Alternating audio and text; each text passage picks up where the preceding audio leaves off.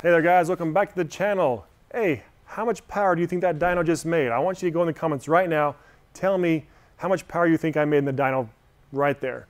Obviously I'm gonna tell you and show you at the end of the video, uh, but yeah, I would like to, let's see your guesses. So this is my truck. This is my tow truck known as Ruby around the shop, known as Claw at my house. Two names, I'll tell you more about that in a minute. But this is like my truck that I built um, with the help of Josh and Meyer and all the guys here at the shop to be my personal daily tow vehicle. I tow my camp trailer with my family in this truck. I tow dirt bikes. Uh, when I go racing motocross, anything he's towed, I use this truck and it does phenomenal. It's also a good little hot rod.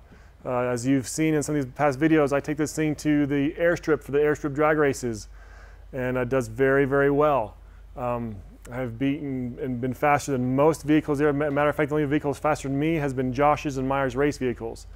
Now this is on a terrible surface at a drag strip, story may change, but on a terribly unprepped track, I've yet to come across a street vehicle that has can hang with my big, huge mega cab truck. I know they're out there and there's plenty of trucks and cars in the world that would destroy me. I get that, but not around here. So around here, I've been able to be the fastest guy on a street, um, tow my truck, tow my camp trailer, tow my dirt bikes, and it's quiet. I've kept a stock muffler, so it's a pleasure to drive. There's no drone. Um, it's just been a, it's a great truck, and we are going to destroy it. Pretty much is what's going to happen. So there's an event coming up in October that Josh has been telling me all about, and I've been really tempted to go, and I've decided I'm going to do it. It's the All Truck Challenge. Last year is known as King of Streets, uh, King of the Street, and Josh went to it. He went out there and he had a great time. He blew up an engine. He had to swap a motor all night long. He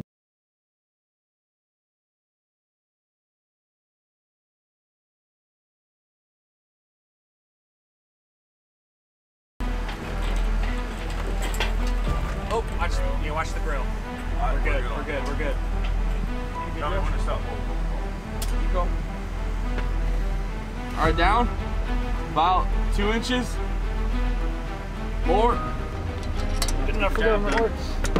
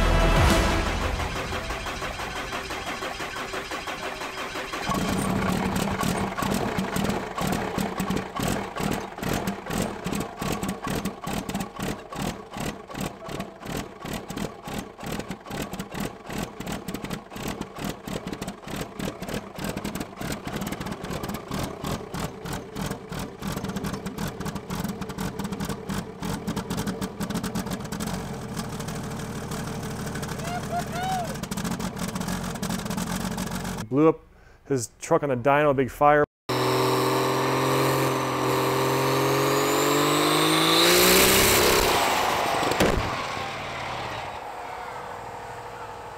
Ball. It was a real, real battle form out there, but he said it was super, super fun. And I need to go. So I'm going to go. So in order to go, I need a little bit more power than my truck has. So we're going to put this thing on the dyno, show you guys what it does. Me and Josh are to talk about what is in this build. I've get a lot of questions in the comments about this truck because it's such a great utility vehicle.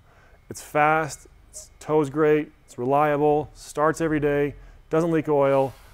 It's awesome. And I built it to be this way, and I'm gonna make a bunch more power.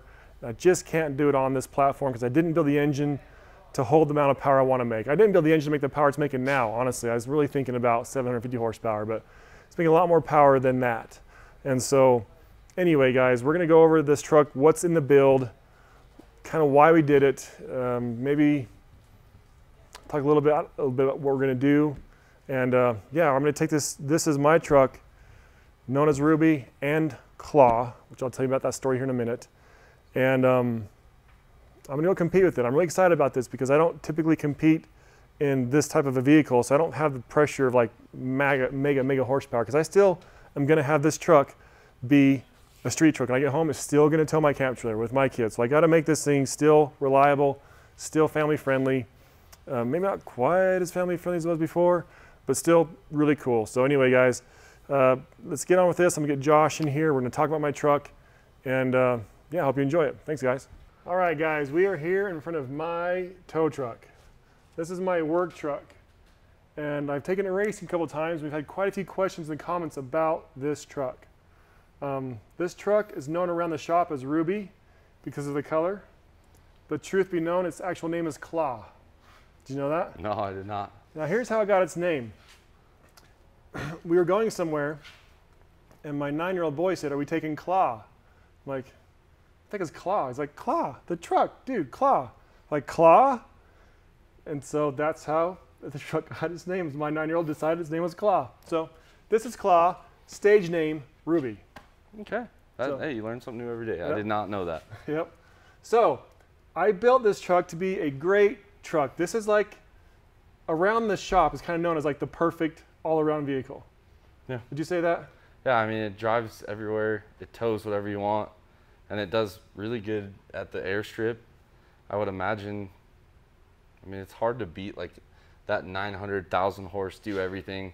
I mean, I seem to love that for about a week, and then I'm like to the moon. But this is a really fun truck to drive, especially because it's so responsive even up here. Yeah, so this has our towing compounds on it. So a lot of guys ask what turbos we have. So this is an HE351. It's one of our big turbine ones, the 67 millimeter turbine. But it is the stock 60 millimeter wheel on the compressor side. Yep. And we pair it with the S472 SXE. I believe you have a 125 T4 Yep, on there. 125 T4. And it's an 87 turbine. It's not the big Nope. big turbine. So, So, it's, really responsive, lot, yeah. lots of good boost cruising. So it's very responsive. This, a lot of guys ask about this truck. So I have kept this factory muffler on this, which is, I mean, we're, we're going to dyno it. I it should do north of 900 hopefully. And that's through a factory muffler because I, I don't like drone. Like I pull, I put my kids, my wife in here, we pull our camper, dirt bikes, whatever, and the drone drives me crazy.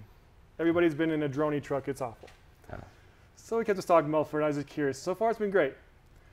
The engine is not. This is a 2006, so it came with a 5.9, which is no longer in there. no. So Josh, jo- Josh So built so- this engine. Tell me about the engine. so first, might I add, we we had stock fueling on this truck for what two years, Yeah. and it was phen- phenomenal. And then Todd decides to put a 12 mil on it and some what are they 45% overs? Yeah, a little bigger. So 45% over injectors, and what did it take you? Two weeks? that was fast. It- so two weeks after he does all this, the 5.9 decides to butter ring, has a ton of blow by. So we built this. This is a 20 over 6.7. It has a 6.7 crankshaft in it, and it has a set of Wagler Street Fighters. And since Todd had bought these for the late style 5.9 bowl, we went with a QSB or the wide bowl uh, 6.7 pistons. And then it has one of our cylinder heads, our push rods, um, what else? Manton valve springs, and I think that's that's about oh 12 mil main studs That's what makes sense. and some Opti Torque Torque Masters, which I'm really surprised that it has not had any issues at all with the head gasket. These things really have surpassed what I thought they were capable of. This one is firing half in the head, half in the block, but uh, we haven't had any issues with it. Okay, so pretty solid engine build. We also have a fluid dampener on here, right? Mhm. And what do we do for transmission? You guys want me a transmission? Yeah, so Mega Cab with 900 horsepower has been a lot of fun, but surprisingly enough, Todd has yet to have to pull this out.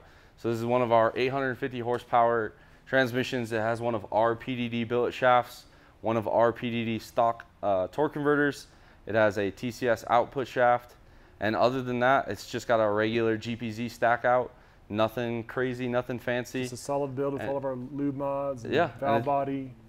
I, I mean, I, every time you drag race it, I'm surprised when it comes back. I've been leaving. I've been doing full Yeah, rev launch. Like, yeah. I have smoked tires multiple times. Yeah. It's been rock solid. Oh, my, every time Myra and I just cringe a little bit.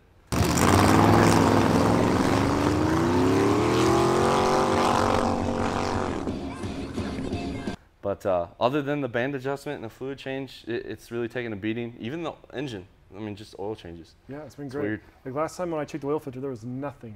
Yep. And it was it was spotless. So, so this engine, when we built it, what was our kind of horsepower I, goal? th- I think you wanted 800. 800 was kind of the goal. So we kind of set it for 800 horsepower to be like as a max, like Mm-hmm. kind of a little bit tight because I didn't want blow by, good mileage, all that stuff.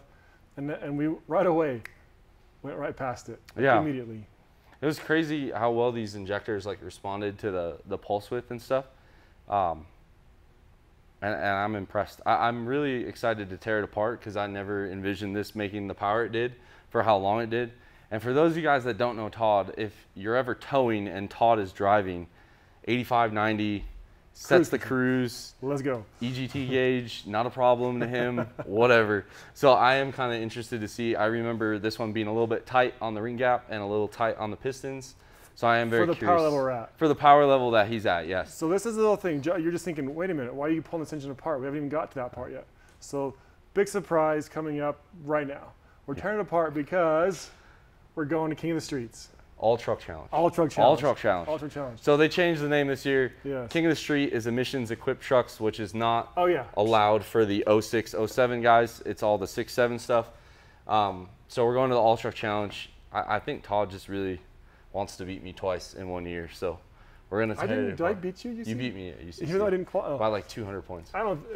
This this one you're definitely the favorite. I'm the underdog going into All Truck Challenge. So, as is kind of my custom, Josh's too. I've got this perfect truck. It tows amazing. It beats up pretty much. I mean, I've been to drag strip twice. I mean, I have I have put the beat down on a 555 cubic inch Dart supercharged Camaro. I think it's a beautiful car. I'm sure. The black one was probably my The black favorite. Pro The Charge Camaro. Pro Charge one, yeah. lot of cars. I've been the fastest vehicle on the lot besides our diesel race trucks, which were faster. But of all the cars that showed up, all the race cars, none of them have been as fast as this. Granted, it's on an airstrip with terrible traction and a real drag strip that probably would change. But on a street race, I can take anything, Yeah, the literally anything. The four wheel drive is, is very advantageous at Oh, that event. It's huge. So And so it's, I mean, it's, and it's quiet. So being that so perfect, we're going to take it all apart and make it not so perfect. I think we can still keep it perfect. I mean, I, I'm going to tell you right now, there's going to be some sacrifices, but I am excited to see this kind of go because this is exactly my style. You build it for one thing and then it just kind of escalates. So in 28 days, so Todd made up his mind, what, three days ago? We got a month to go? Yeah, we were here dynoing, getting ready for the airstrip, Yeah.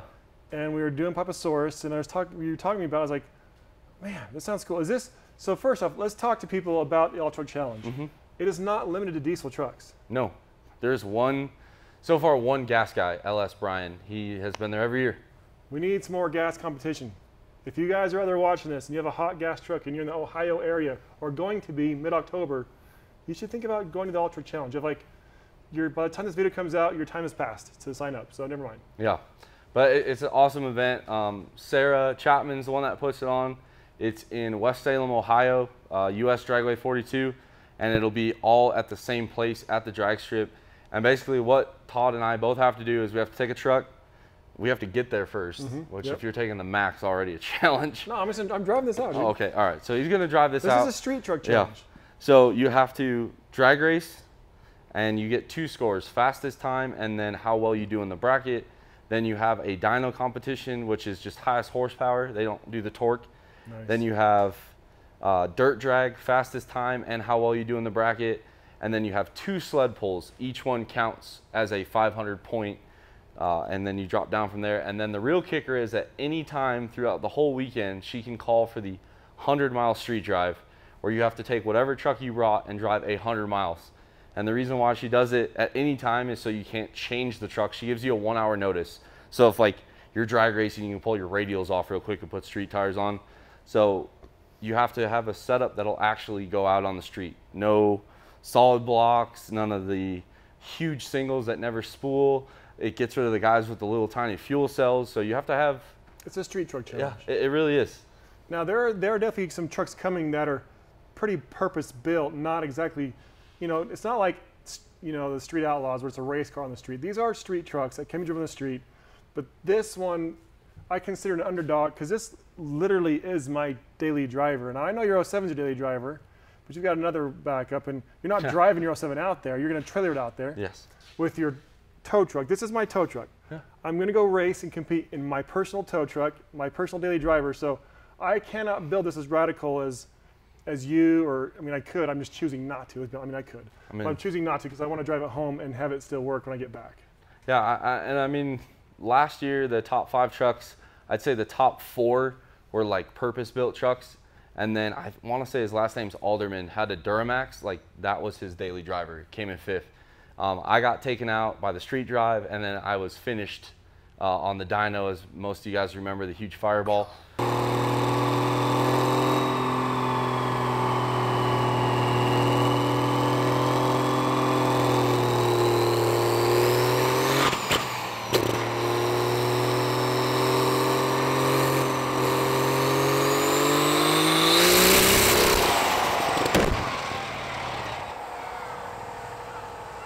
Uh, we're gonna prevent that this year. Uh, we got a different, much different strategy. Um, but again, you, you, sometimes the just being consistent, middle of the pack, those guys do really well. So I really feel like, although there's always favorites going into the competition, it's really surprising to see how it all stacks up. I would say, in my opinion, if like David Petrick or Ben Francis show up, those would be the guys that I would kind of be like a little nervous with. Really? They're, they're definitely stiff competition. Big power Yeah. on the street, really legit trucks. I mean, David's slow, but the rest of it is accurate. looks pretty good. Yeah. So, this I'm hoping to do well. Like I said, I've been out drag racing it a couple times now, and I have literally had a blast doing it. Perfect time to take it apart. Yes, It runs too good to leave it it runs alone. too good. Yeah. The blow by's like minimal, if any. There's no oils anywhere. There's no drips under the dang thing. It's We- too good. We're gonna tell them what we're doing to this, or do you want to leave? it? Yes, let's Oh. talk about. So you're gonna follow along the build. Let's do talk. Let's talk a little bit about this. Okay. And so hopefully we have some interesting footage somehow. So you're not just looking at us talking the whole time. But let's talk about it. And Okay. So we have a OEM block that we drilled and tapped for 14 mil main studs and 14 mil head studs. Yep. Uh, we're gonna use a 12 valve style 14 mil main stud with no girdle. We're going to put a 6-7 crank in it. Obviously, another set of Wagler Street Fighters. As long as these are good, we'll just reuse them. Mm-hmm. We're gonna go to a narrow bowl six seven piston.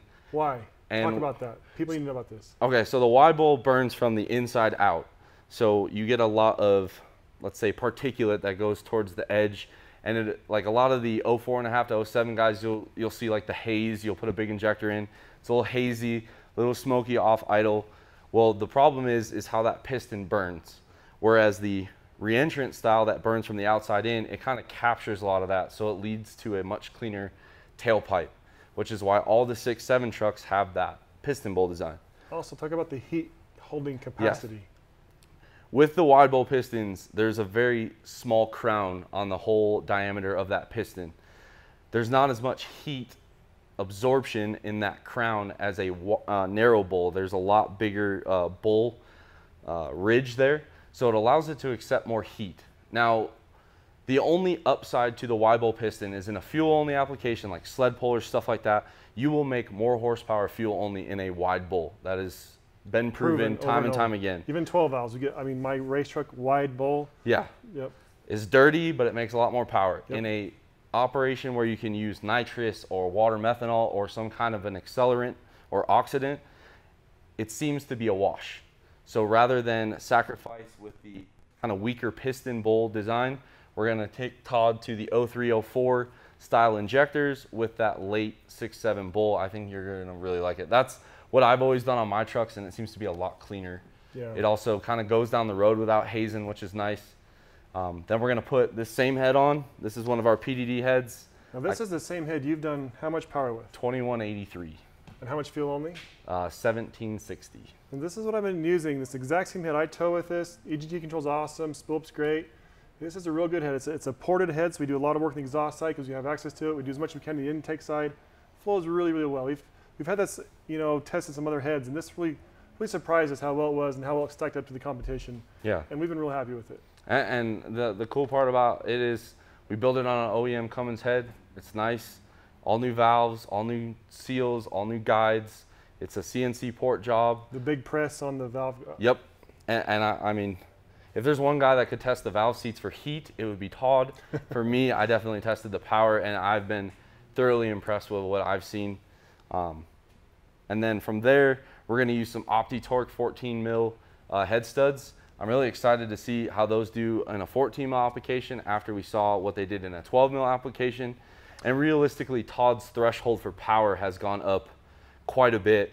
And I feel like although 625s could definitely do it, the OptiTorque's coming at a much cheaper price and that's, range. that's what I have on my UCC truck. I've, And- I've done and they work good. 2,700 horsepower on 14 mil OptiTorques. Yeah, and that was a mix match set, by the Yeah, way. Yeah, that even- was. that was just a, yeah, I was Yeah. just putting stuff together because that's what we had. So so I've been yeah like this has got the 12 mil opti torques at 2,000 foot pounds of torque, and um, yeah I've been really really happy with the opti torques because the price point for what you get is it's the best bargain bang for your buck stud out there for a high high performance stuff for sure. Absolutely.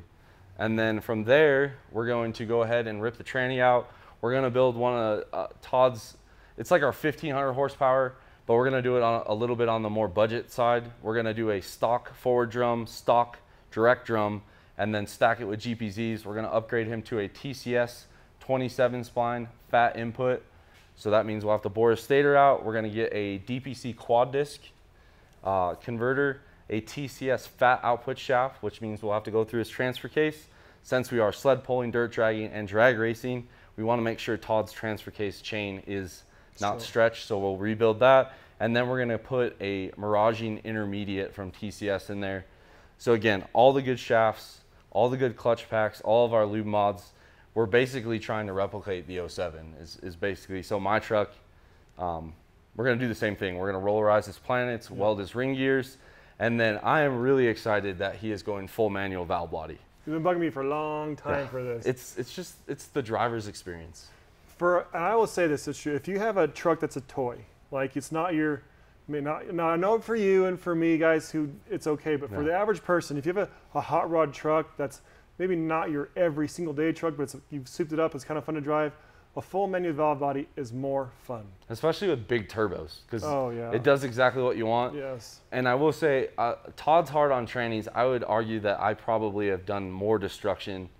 The destruction has really kind of calmed down with the full manual valve body. Because it does what you want. You're, you know it when it needs you- to happen. Yep. Not like, oh crap, it just locked. I didn't want it to. Now, now I've, my foot's in a bad position on the floor, Yeah, lugging it. Now you have total control, and so you can kind of work your way around the carnage areas, keep it in a safe spot. And so doing that really is nice. And so if you have a hot rod truck, it's a lot of fun. It is a lot of fun. I, when I drive the giveaway trucks, I'm like driving around like, this is so much more fun. You can just play at the lockup, spool it up, lock it, and you're right in the meat of the power. It's just, it's just awesome. So we are going full manual valve on this truck. which we're excited. And then we have Sarah is very big on safety, so we have a huge checklist to do. Yeah, we got a whole laundry list. Scatter shields, drive shaft loops, cables, battery Blankets. relocations. Well, basically, we have a lot of late nights ahead of us, but to have somebody else come compete, it's a long drive. I'm excited to have Todd. And I'm excited to go to a competition where I don't feel like I need to throw the kitchen sink at everything. I, I'm excited to go as a little bit of an underdog because Okay, so why don't you tell the people what you're strapping on the side of this engine? and an- we'll, we'll let them total judge. underdog. Yeah, Should we go with the turbo system now, or should we make them wait? I don't know. It's up to you. You know what? I'm gonna wait. I'm gonna wait for the turbos because I'm gonna wait for that for fab work. Just know, I still gonna have it hopefully spool quickly, and hopefully have a much much bigger top end than I have right now. No. Not bad. I mean, it's great. And I feel like you're really gonna push the limit of compounds. Yes, Like, I've done this. I've actually done the set 12 years ago, very similar, and it did work really well. Now that was on a 12 valve. I'm, I think with this, it'll even respond better with the very with the dynamic timing, the tuning we can do. But uh, it's gonna be it's gonna be a lot of fun. So we're gonna have some videos coming up uh, of us working on this thing, getting Josh's truck ready. We're gonna go compete at All the Truck Challenge, and uh, I've never been to that event. It's pretty new. But no, um, it started in 15. oh, it's so- been around a long time. Yeah. I was, I was wrong. I thought it was like just last. I guess you just went last year. It was your first year, right? Yeah, so I, I spectated and I was in a pit crew in 19. I competed last year and then I'm going to yeah, compete again this year. Well, Josh is one of my favorites. I think he'll do real well. We'll see how I do. If I can, if I do well, we'll I will. I don't know top half. hey, I do top half. Stakes on top. that's all I heard. That's so- right. Stakes on top. All right. All right, guys. Well, let's wrap this video up now. I think. I hope it's entertaining. I hope you're looking forward to the future builds of this thing. It's gonna be awesome. And uh, yeah, we'll check you next time.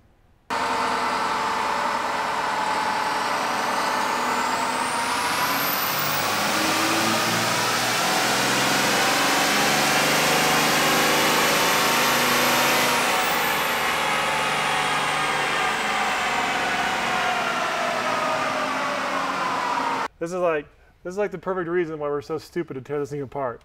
Yeah, I mean, this is like the cool dad grocery getter. Oh, kids are smiling, beating Yeah. everybody. I mean, I remember watching your son when we were drag racing at Junction. Like, he Oh. just had a blast. Oh, I, I think he really thought you guys were like underdogs Oh, when he showed up. he, it was pretty he was funny. so nervous. He's Yeah. like, dude, dad, we're gonna be the slowest guys here. He's like, he's super competitive. He hates to lose. He's like, he's almost like depressed. I'm like, nah, I think we'll be okay. Fastest guy in the lot, minus his race truck and Meyer in the Myers race Yeah. truck. But um, yeah, so 964 horsepower, uh, 1,856 foot pounds of torque. and these are usable peaks. Like, Yeah, I mean, people will normally see 3,000 RPM in a daily application, just like 2,600. Like, uh, let's being realistic. My truck makes like peak horsepower and torque above 3,500. Those aren't as usable numbers as Right. Todd's are. So, as far as an all-around do everything, this truck's been phenomenally reliable, and I've been very impressed with it. I've had more than a few people tell me, don't you touch that thing. It's perfect. It's just, I It think looks- you should. oh, we're going to. Yeah. That's what we Like do. I always say, this is like a tow truck number. All right, we need to. It is. We got to bump those up. This is up. my tow truck number. Yeah. That's right. It's my perfect So- tow truck number. so So yeah, we're gonna we're gonna make it a little bit more powerful. Um, 964 horsepower. The best this has ever done is about what 980. 980, and it was like just under 2,000 foot pounds. So we're right there. These little these tires are bigger than the last ones we dynoed on, so that could hurt us a little bit. And Um, realistically, I built it, so it's probably about ready to explode at this point. It's so. been perfect. We keep saying that we're gonna Yeah. go and break some, but I just keep going and going and going, and just keeps taking it like a champ. So honestly, it's been great, and it's been so great, so perfect. It's time to make it better. Hopefully. I agree.